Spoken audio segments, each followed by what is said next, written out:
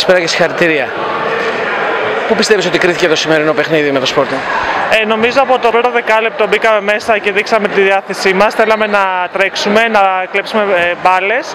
Οπότε νομίζω στην άμυνα κυρίως και ότι δείξαμε διάθεση να κερδίσουμε το παιχνίδι και να πάμε παρακάτω.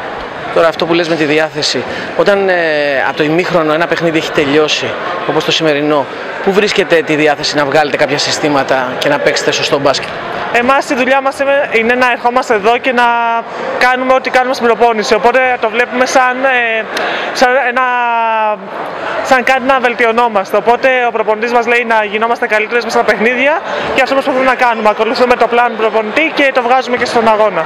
Ευχαριστώ πάρα πολύ. Ευχαριστώ.